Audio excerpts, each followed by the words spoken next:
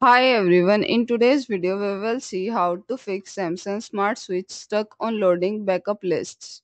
Check device compatibility. Ensure that both the devices are compatible with the Smart Switch. The application support device running Android 4.3 Plus and iOS 4.2.1 Plus. Verify USB connection and cable. If you are using a cable for data transfer, make sure the USB cable is securely connected to both your PC and the device access internet connection. If you are transferring data over Wi Fi, check your internet connection for stability. A weak connection can disturb the transfer process. Update or reinstall Smart Switch app. Check for the updates in the Google Play Store. If the issue persists, uninstall the app and reinstall it. Restart the device. Simply restarting the device can resolve connectivity issue or glitches within the app. Thank you for watching. Like this video and subscribe to our channel.